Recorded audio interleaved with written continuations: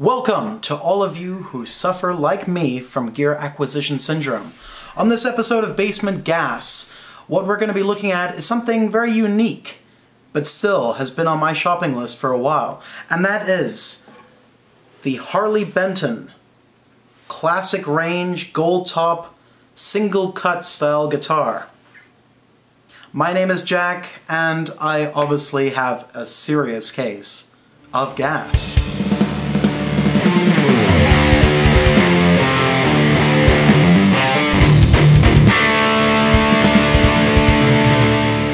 Before we get started, a quick disclaimer. Um, Harley Benton, as some of you may know, is the house brand by Thomann here in Germany. Um, big music distributor, they're only about an hour away from where I live. But by no means was this endorsed by Thomann. I bought this guitar myself. Um, I wanted to actually try out a lower budget guitar and for 115 euros you're not going to get a much cheaper guitar. And so I wanted to try out one of theirs and um, this is all funded and uh, endorsed by myself so to get that out of the way.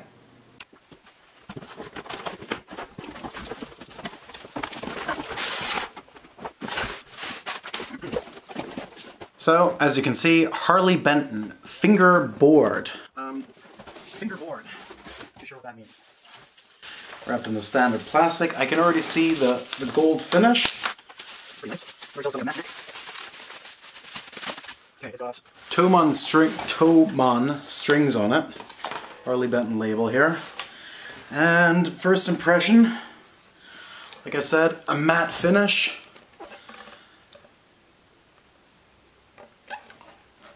It's it's not light, but it's not heavy. It's not like a a 70s or 60s kind of Gibson weight, not even 80s, not that kind of real thick, chunky style. It's got probably a bit of weight relief, but it's heavy but not too heavy, so it's it's it's it's good. Um, it comes out of the box almost tuned.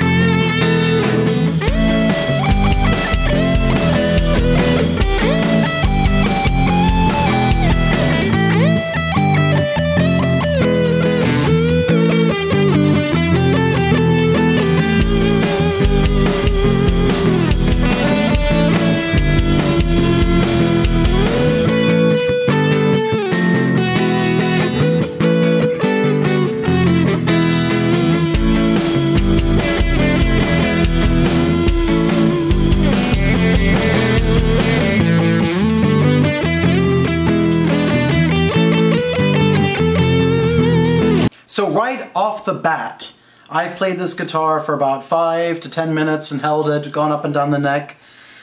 My first impressions are, for 115 euros, I don't think you can get a better guitar. I'm actually really surprised at how this feels, how it plays, how it sounds.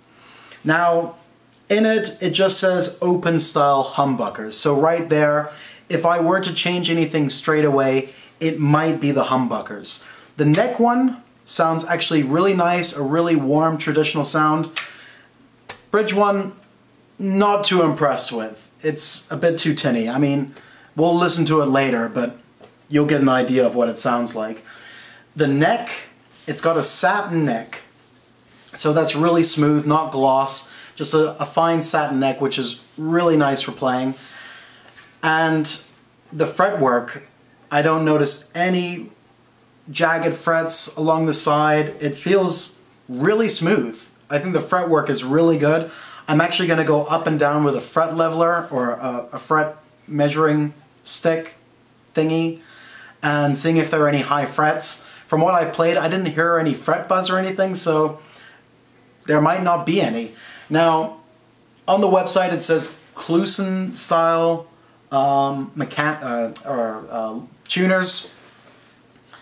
The first thing I noticed that one of them is a little bit off. Get rid of that smudge there. This one is, it's sort of a little bit leaning this way, so, you know, attention to detail. I wouldn't say that's a huge deal as long as it stays in tune. Not a, not a really big thing.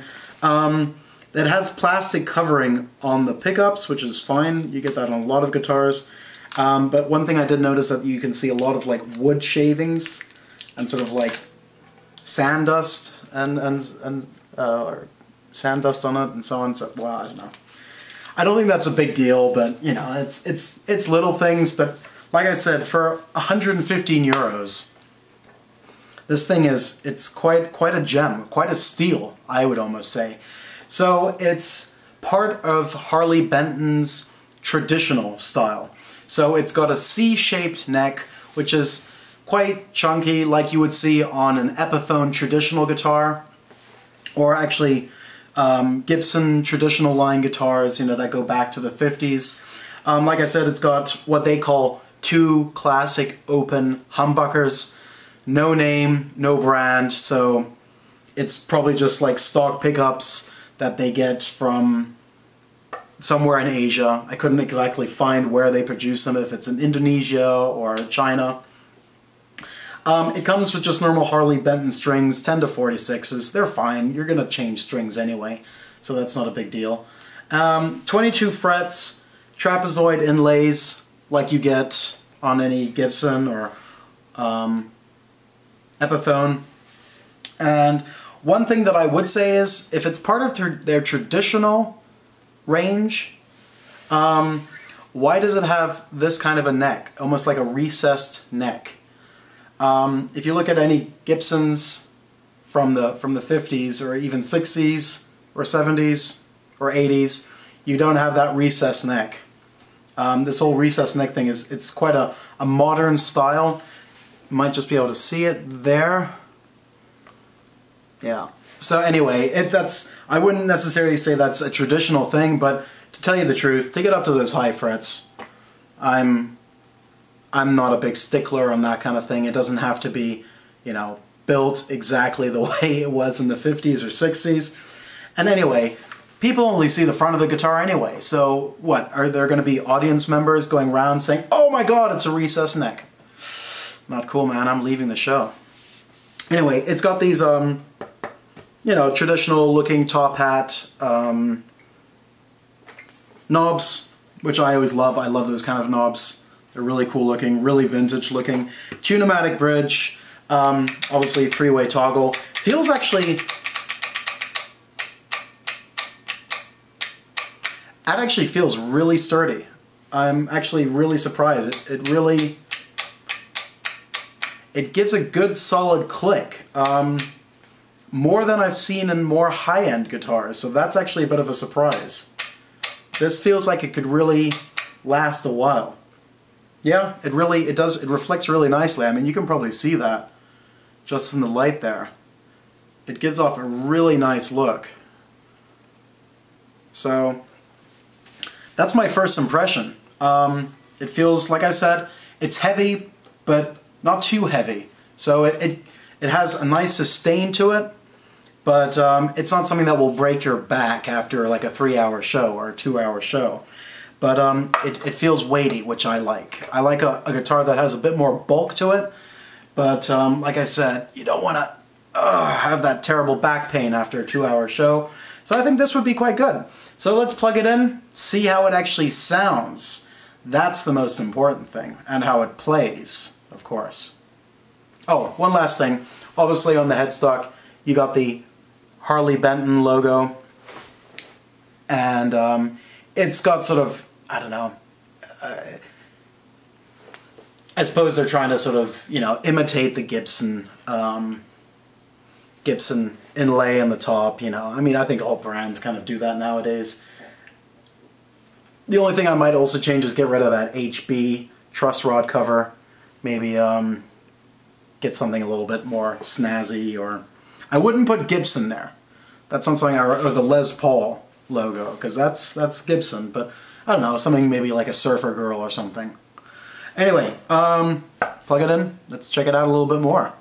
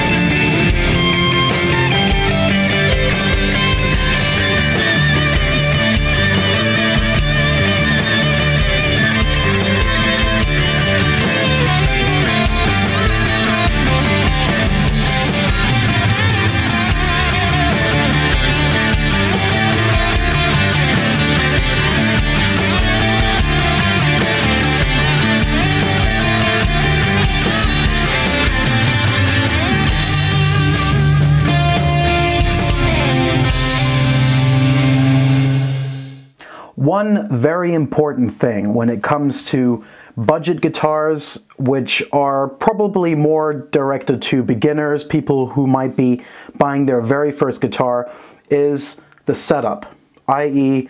how does it play?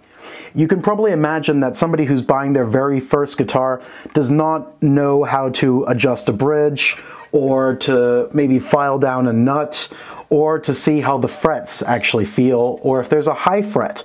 So I'm going to go ahead, see how the action is, see if there are any high frets, see how the intonation is, literally do a one over and to see if this guitar is set up accordingly so that a person who's just trying it out for the very first time, their very, very first guitar, that they're not going to have any problems with it.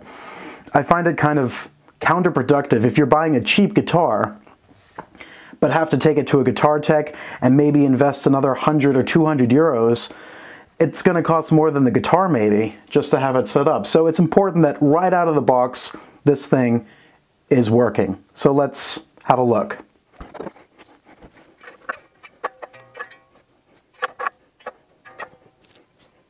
So uh, right away, I can tell with this straight edge that the neck is not perfectly straight. There, there's a slight bow onto it, and it's um sorry, it's more sort of uh, a concave bow. So, meaning that, well, as you can probably tell, the neck is going like this kind of a shape. Now, that's not that big of a deal. The action I feel is a little bit high on the 12th fret. Let's, um, let's check to see if there are actually any high frets now.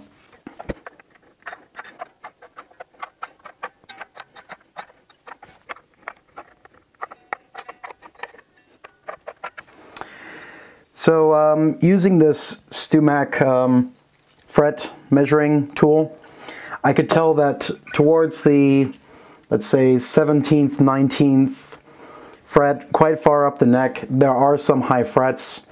It's nothing too bad, a little bit of rocking. It's nothing severe. Plus, up here, yeah, well, you might actually notice it, but it's something that could be rectified very quickly, but still, it's something that a beginner guitar will not necessarily know how to do. So, also, one minus point right there.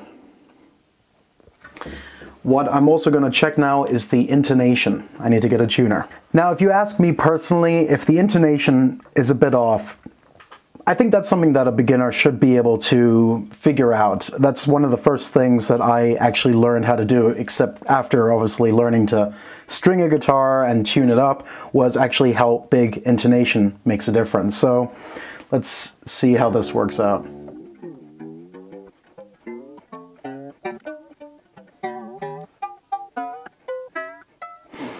Okay, I checked the intonation and it passed with a 4 out of 6. The low E string and the G string were a bit sharp, so you'd have to change the intonation a little bit on those two strings. Like I said, that shouldn't be a big deal. Otherwise, like I said, I think the action is a bit high. I don't know if one can see that. Probably not. Just take my word for it. It's a bit high for my playing style, and I think for a beginner, it would probably be a bit high as well. So, yes, it would need a setup. The frets would need to be, you know, lowered down here. They'd need to be edged off. The neck, it looks a bit dirty up here, and one of the pearl inlays is also not great work. I'll take a photo of it. I'll show it here. Otherwise, the it has rolled, kind of rolled edges. Nothing, nothing special, but there are no hard fret ends or anything. But still, it would need a setup for a beginner to really be able to take advantage of it. Still, out of the box, it's playable. By no means is it a bad setup guitar. It just could be made better. But that's that's generally the case with a lot of guitars. I mean, I've gotten a Gibson custom shop and it needed a setup. So I guess it always just depends on quality control. You know, whether you're buying a 115 euro guitar or a, you know, 4,000 euro guitar, who knows?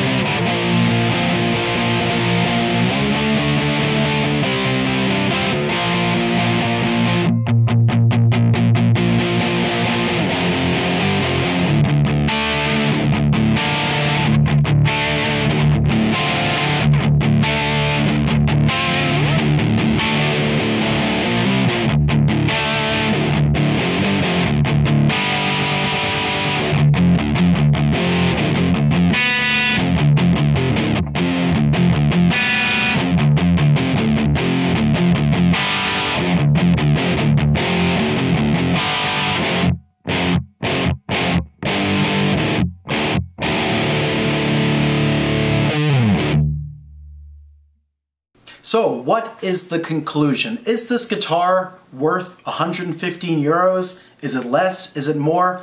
I would say it's definitely worth 115 euros, if not more. This is a great guitar for beginners, for people who are just starting out, for novice players who are sort of maybe looking for something a little bit different. Maybe they've got a Strat and they want to try out a Les Paul style guitar, single cut guitar and also for experienced players. I would be more than happy standing on a stage using this guitar. If anything, if it's bad weather or I'm not too sure of the conditions, I'd probably prefer to take this guitar than one of my Gibson custom shop ones where I don't know if it's going to be able to survive the evening. Now, I don't play death metal scenes and I'm not jumping off of stages and um, so I'm not really that worried about my guitars, but still, I would be very happy standing on stage with this. First of all, it looks amazing. Second of all, with maybe a couple of adjustments, maybe a couple of modifications, you could get this to be a really good guitar. I would change, like I said, the pickups maybe, the tuners. I'm always a stickler for um, locking tuners, so I would probably get one of those. And I actually checked the wiring. As you can see, it's not sort of like brand pots as well, but it's it's hand wired, it's hand soldered. You can definitely see that. No sort of um, printed circuit chips or anything like I've seen on Epiphones, for example. I mean, that's pretty impressive. So I wouldn't change the electronics, just the pickups. Like I said, neck feels fine. Intonation was a bit out. That's the one thing, but that's solved in a couple of minutes. And um, there was a bit of tuning stability problems. It could be the new strings, but I personally think it's the tuners, so like I said, that would probably be the very first thing I would change. But otherwise, 115 euros, I mean, where are you going to get a guitar like this for 115 euros? Well, obviously Thomann, but I'm not trying to promote them, I'm just saying that this compared to some of the high-end guitars that I have or um, LTD ESP guitars, this is really good. It really ranks up there. I'm happy with it. I can only recommend it. It's my suggest. Uh, it's, it gets my uh, seal of approval. I just need to buy a seal, and I will approve it. So anyway, um, if you like this, if you found it useful, if you found it helpful, please like and subscribe to the channel. Um, I'll be doing more product reviews, uh, guitar effects, pedals, guitars, you know all this stuff.